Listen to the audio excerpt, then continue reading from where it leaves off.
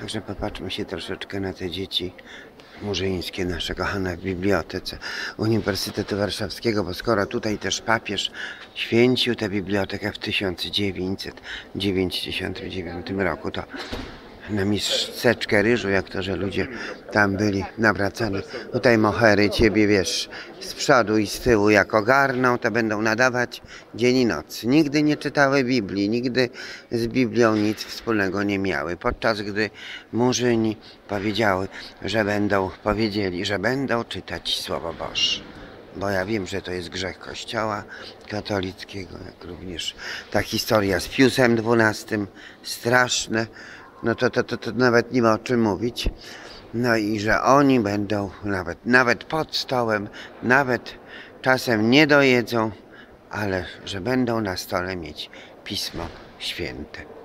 No, także gdy nadaje nasze radio, to FM, Euro, Concita, Barbie Baby, Langstrom Extra, buziaczki i proszę jeść kaczki.